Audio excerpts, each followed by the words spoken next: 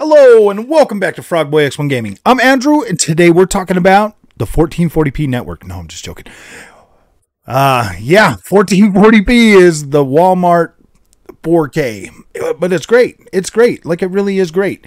Um that's why I have decided, you know, going forward with this channel, um I will dabble in the 4K stuff as well. Like I will I will eventually get to a point where um I can put out, you know, 4K content as well but I think for the uh, for the for the nature of this channel, um, being a console channel and all, I think that we're gonna try to stay stay around the 1440p range, and that is just over extensive testing over the last few months since I've gotten a you know the 1440p monitors. I've I've got the PC. I've I've uh, I've invested heavily in in this setup to a point where I mean like I don't have like the top of the line stuff by any means, but I got enough of this stuff to where it is I I feel that 1440p is actually going to be a pretty decent fit for this channel. And I believe that that is going to it's going to help flesh out 1440p as an option for a lot, of, lot, a lot of gamers out there because let's face it, 1440p for these consoles really is the Walmart 4K. Like it really is a Walmart 4K. Um, most of these games, you know, going forward on these consoles, I envision um, pretty much anything from 1296p up to like 1600p in the performance modes. Um, and then when you get into, you know, I mean, that's like, like, well, I'm going to say 1800p, 1800p, 1296p up to 1800p for 60 FPS. Um, some games, you know, your shooters, you're still going to get 4K. So those I will still cover at 4K, but everything else in between that, um, like open world games, stuff like that, things that I know we're not going to, that are, that are going to be sub 4K, but anywhere from just under 1440p to above 1440p, we will cover those in the best way possible to bring you the best content and the best way to, to experience that content. Uh, when it comes to um, anything in the 120 FPS range, you are looking at from 1080p um, to just possibly above 1440p, depending on the game and the uh, and the world dynamics and stuff. Like if you look at a game like like Deathloop that just recently came out, this game here is running at 1080p in the 120 frames, uh, 120 hertz mode on on on both consoles. So that makes covering that kind of stuff on a 1440p uh, basis a lot more a lot more consistent with what the image would look like on a 1440p monitor. Uh, it is it is it is interesting times we live in when it comes to video games. I've been playing. I've been a console gamer since since I was five years old. I've been playing on the consoles, and it's always been traditionally hooked to a, to a television. I never in my life imagined getting my console and hooking it up to a monitor. Like I never imagined that. Uh, just like I'm pretty sure most of you in the gaming community have never imagined doing that either. You're like, oh yeah, TV, and you go out and you buy a TV. And let's let's face it, man, you can get 4K TVs pretty cheap nowadays, but you get what you pay for. You get what you pay for. If you buy a cheap TV, you're going to get what you pay for. You're going to get 4K at 60 frames, and it's going to be uh, edge lit freaking HDR. So it's not even going to be it's not even going to be good and you're going to pay 500 bucks for that.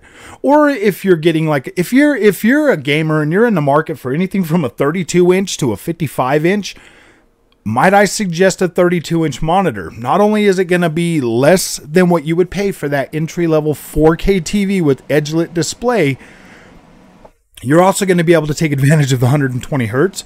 You'll be able to hook, you can run your consoles at a 4K signal to that 1440p monitor and it will downsample and give you better image quality at a faster response time. Like I never knew this existed and that's why I'm excited about it and I want to bring you the ultimate best way to get the most out of your gaming experience that I can. That's what this channel is designed for, to save you money and to help you have a better experience. Now, I'm not saying to go out and throw away your 4K TV. If you're already invested in a 4K TV, that's fine. That is 100% fine. You've already invested the money. But if you just like I said, if you have one of them sub if you have one of those edge lit displays for your HDR, if you have one of them, you know, like a Vizio V series or, or D series or whatever they're freaking called nowadays, the entry level ones from TLC or Hisense or Vizio or any of these companies that are competing for your dollars that are selling you something that seriously shouldn't even be on the market, shouldn't even be on your mind for a gaming TV. Like it shouldn't, especially with these new consoles. You're going to want the 120 hertz. You're going to want I know I know you're probably thinking in your mind like I was thinking in my mind when I first started this channel. I was like, "Man, I'm going to be running everything through my capture card at 60 frames a second anyway. So do I really need uh 120 hertz?" The simple answer is yes. Yes, you do need that. But I bought the OLED for 1300 bucks. I bought the monitor for for for 489 bucks.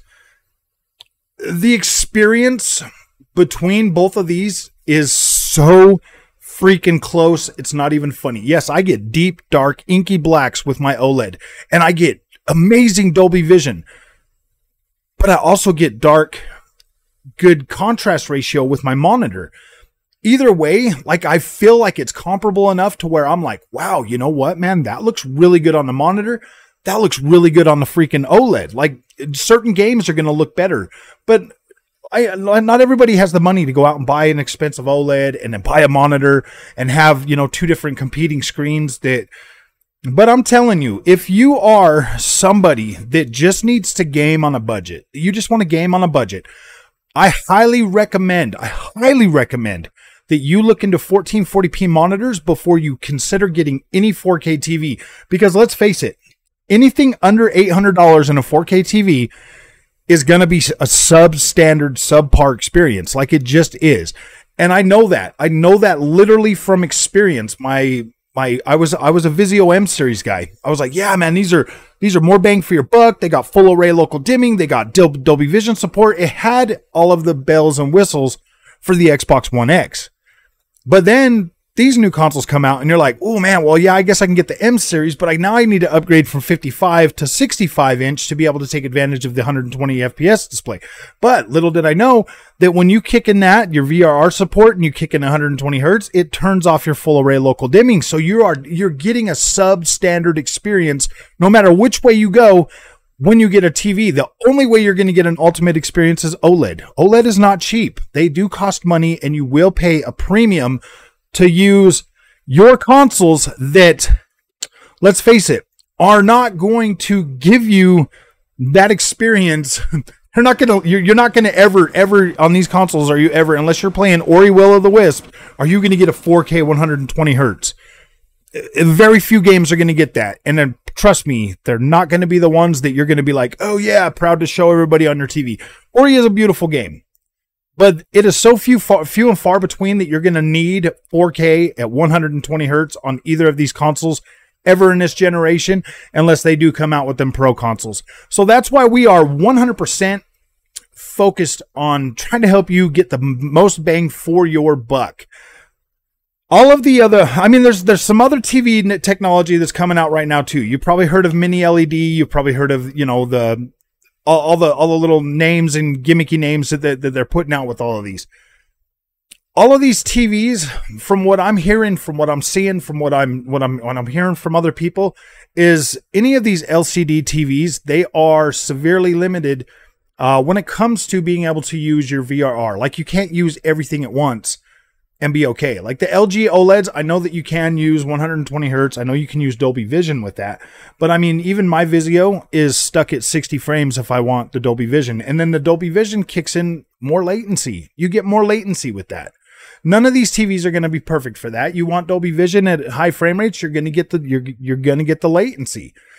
Uh, being able to use your VRR support. Uh, that's that's another thing, man. If you're if you're getting an edge lit or um, or full array local dimming, and you're losing that lo- that local dimming for your HDR, it's going to destroy your picture. You're like, yeah, you're going to get the response times or whatever. You're going to get the VRR and all of that, but you are going to severely limit your experience regardless. Now on the monitor, on the 1440p monitor, I get all my HDR. I don't lose any kind of clarity whatsoever when I switch to 1440p 120 frames a second mode. I don't lose any contrast ratio. I don't lose any brightness. I don't lose anything. It is a better experience right out of the gate. Now, uh, with the PlayStation 5, You're not going to be able to use your VRR unless you have a monitor with 2.1. You have to have 2.1 HDMI for your VRR to work on your PlayStation 5. So be very picky and very careful when you are sourcing the monitor to buy for your PlayStation 5. The Xbox Series X and S, dude, they're seamless. They work with all of them. They work really good. Uh, you plug in your um, the biggest thing with the Xbox though is you are not going to get um, the HDR at 120 frames a second because you have to leave 4K enabled. If you leave that enabled, then it doesn't let you do the 120 for some weird reason on on the monitor. It just doesn't seem to it doesn't seem to work. It it uh, automatically kicks you back down to the um, and which is weird, which is really weird. I don't understand why that's like that. They they should have a way. They they they, they need to fix that. But everything else works just fine. You can get your 1440p, you can get your 120 frames, and that's that's another thing I wanted to talk to you about because the way that these monitors handle handle SDR content is different than your standard TV. Like you still get your good contrast ratios, you still get like the the the better color palettes, all of that stuff. It still looks really good. It doesn't look SDR. Like it doesn't look SDR on a 1440p monitor. And at least in my experience with the LG um, Ultragears, I am not running into that problem with either of these.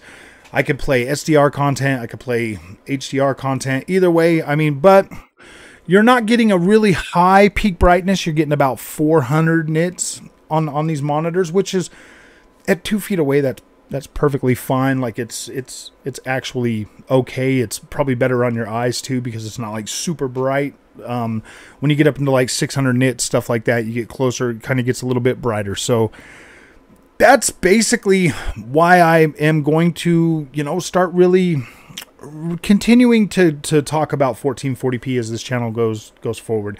I think that can kind of be my my niche. Uh, to a to a certain extent, I want to bring as much awareness to the gaming community as I possibly can because let's face it, if you had an Xbox One S or an Xbox One X, did you know those consoles both supported H, uh, VRR? They supported HDR. I mean, um, they, they both supported VRR support. So if you had those and you had a hook to a monitor, you could have been enjoying all of those games. You wouldn't have had any any frame drops, and and it does go all the way down to 40, which also uh, allows you to use low frame rate compensation on your Xbox One S and your Xbox One X. And you didn't know that. Why? Because the professionals the people that we look to to tell us all of everything we need to know about our performance of games and everything. They were so wrapped around PlayStation's finger that they never they never talk about any of this stuff. They never talk about anything that freaking matters that would save you money and that would make your experience better because I guarantee it. Had I known what I know now when I had my Xbox One X, I would have definitely had a monitor for that. I would have never even played around with these. I would have just went and bought a 1440p monitor and I would have been off to the races. Or I probably would have got a 4K monitor back then because it was like, oh my gosh, 4K. But I'm telling you, 1440p monitor is the welfare version of 4K. Like it, it's 1440p is the welfare 4K. Like it really is welfare 4K. Everything looks sharp, crisp, beautiful, and you still get all of you get all of your features, and you never have to lose any of your your clarity. Like your clarity's there. Another big selling point for me, this is what literally took it over the freaking top for me, was my backward compatible games. Yeah, the ones that are 900p, 1080p, the ones that are, you know, old and didn't get any upgrades, but they got FPS boost and stuff like that. Even those look good on your 1440p monitor. Because, I mean, I'm telling you, go put a 900p game on your 4K TV and you tell me if that looks good to you. And then you go put it on a 1440p monitor and you tell me, like, wow, that's actually playable. It doesn't look all blurry and fuzzy and, and trash. Like it looks, it doesn't look pristine clear like all the 1440p games or the 4K games getting down downscaled, but it looks good enough to give you a solid experience. So